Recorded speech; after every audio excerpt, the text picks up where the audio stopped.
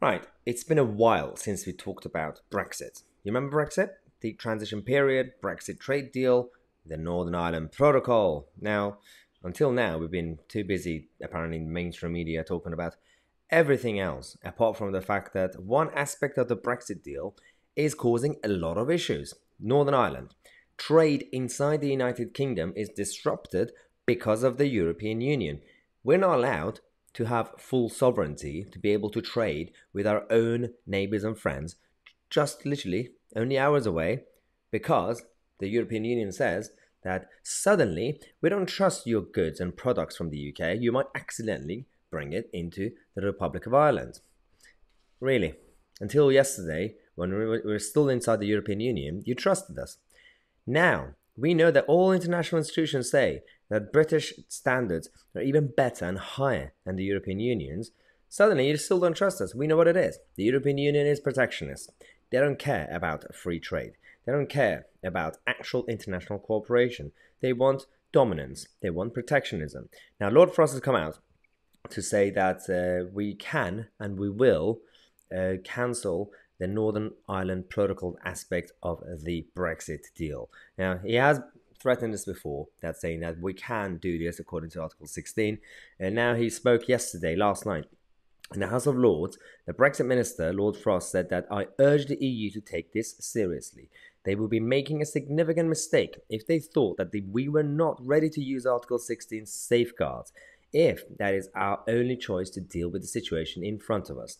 If we are to avoid Article 16, there must be a real negotiation between us and the EU. Now, you expect the EU to finally play ball. Now, my prediction is same thing is going to happen over and over again. This is the chance that Boris Johnson, Prime Minister, has to redeem himself following all the recent idiotic policies and lack of credibility and losing the trust of many people inside the Tory party, the members and supporters and the voters, and all the, the other stuff that happened. This could be a good chance. Just like how in the previous video, and uh, when we talked about Priti Patel's last chance, to sort out uh, the migrant crisis. This could be Boris's comeback. And of course, he has to also redeem himself in other areas, we know that.